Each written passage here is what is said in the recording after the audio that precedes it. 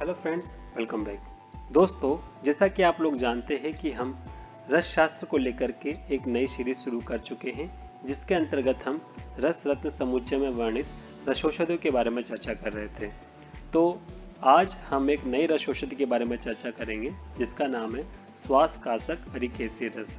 आज हम इस वीडियो में जानेंगे कि इसका रोगाधिकार क्या है, क्या इसके घटक द्रव्य हैं, किस तरह से इसे बनाया जाता है क्या इसकी मात्रा है, क्या इसके भावना द्रव्य है और किन किन रोगों में इसे प्रयुक्त किया जाता है तो इन सारी बातों की चर्चा आज हम अपने इस वीडियो में करेंगे। तो इस वीडियो को शुरू से लेकर के एंड तक ज़रूर देखेगा और यदि आप मेरे चैनल पर नए हैं तो चैनल को सब्सक्राइब ज़रूर करें ताकि आपको ऐसी ही नई रसोशुद्धि के बारे में जानकारी मिल सके। तो चलिए शुरू करते हैं आज का वीडियो। दोस्तों श्वास कासक अरिकेसी रस का वर्णन रसरत्न समुच्चय में स्वास्थ्य चिकित्सा के अंतर्गत आया है। अर्थात इस रस का जो रोगाधिकार है वो है स्वास्थ्य चिकित्सा। आइए देखते हैं कि इसको बनाया कैसे जाता है, क्या इसके घटक द्रव्य है। तो सबसे पहले हम इसका श्लोक पढ़ते हैं ताकि कोई गलती ना हो। उसके बाद हम इस श्लोक को पूरा समझेंगे। तो श्लोक कुछ इस प्रकार से है। तार ताम रस पिष्टिका, शिला गंध ताल समभागिकम रसे है। आट रूष सुरसा आद्रक संभवे मर्दनम प्रकुरु गोलकम तथा मत्सनया च परिवेष्टय गोलकायाम। याम युग्म अथम भूधरे पचेत गंधकेन कुरे तत्समम तत्स्य आट्रूषक कटुकेर विभावयेत। श्वासकास अरि केसरी रसो, वल्लमस्य परिसेवियत बुध।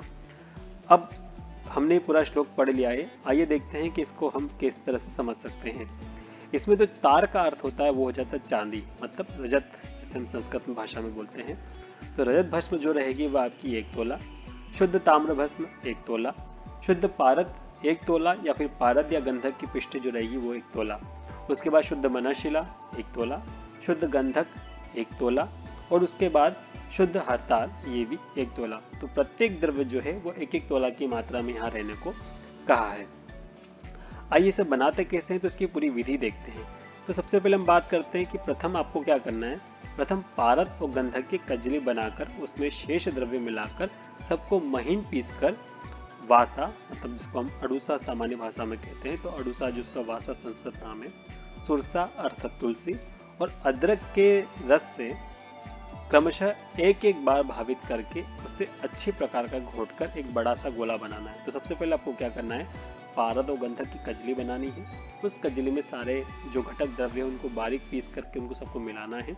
उसके बाद वासा, सुरसा और अदरक, इन सब की एक एक बार क्रमशः भावना देनी है। उसके बाद क्या करना है? भावना देने के बाद अब इसे एक बड़ा सा गोला रूप में बना लीजिए। अब क्या करना है आगे?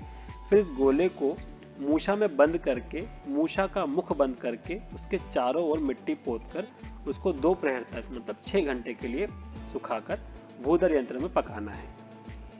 ठीक है? आपको यहाँ पे मूछा में इसको पैक करना है, उसके बाद इस पर कपड़ा मिट्टी कर करके भूदर यंत्र में रखना है। स्वांग शीत यंत्र से सिद्ध औषधि को निकालकर, खरल में महीन चूर्ण कर उसमें एक तोला मतलब 12 ग्राम शुद्ध गंधक मिलाकर महीन पीस कर उसमें अड़ूसा और त्रिकटु के क्वाद की सात सात बार भावना देनी है। तो यहाँ पे आपको क्या करना है, जैसे आपने भूदर यंत्र में से रखा, जब वो ठंडा हो गया तो उसे निकाल करके खरल में पीसना है। तो खरल में पीसेंगे आप तो खरल में आपको क्या करना है, गंधक मिलाना है एक तोला ऊपर से, और उसके बाद अवासा और त्रिकटु, इनकी सात सात भावना आपको देनी है। उसके बाद क्या करना है अच्छी प्रकार से घोट कर सूखी में, शीशे में इसको सुखा करके शीशे में आपको भर लेना है। इसी को श्वास कास अरिकेसी रस कहा जाता है। तो इस तरह से आपका जो श्वास कास अरिकेसी रस है, उसे बनाया जाता है। इस रस की जो मात्रा है, वो एक बल अर्थात तीन रत्ती। अगर इसे एमजी में बात करें तो तीन सौ पचहत्तर एम की इसकी जो डोज होती है, वो बताई गई है। तो कैसे लेना है इसको? इस रस की तीन सौ पचहत्तर एम मतलब एक बल्ले या फिर तीन रत्ती की मात्रा, प्रतिदिन सेवन करने से श्वास काश जो नस रोग होते हैं वो नष्ट हो जाते हैं।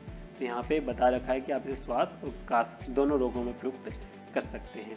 तो यहाँ पे हमने देखा कि किस तरह से आप इसे बना सकते हैं, क्या इसके घटक द्रव्य हैं क्या क्या इन रोगों में दिया जाता है, क्या इसका रोगाधिकार है और किस तरह इसका वर्णन समस्या में आया है। आई होप आपको श्वास काश काशक हरिकेसी रस के बारे में जो जानकारी बताई गई है, ये आपको पसंद आई होगी। यदि आपको वीडियो पसंद आया है तो वीडियो को लाइक और शेयर कीजिए। और यदि आप मेरे चैनल पर नए हैं तो चैनल को सब्सक्राइब ज़रूर कीजिए ताकि आपको ऐसे ही नई नई रोशन शुद्धि के बारे में जानकारी मिल सके। ऐसे ही नई रोशन रोशनी के साथ मिलेंगे आपके साथ नेक्स्ट वीडियो में। तब तक के लिए जय हिंद।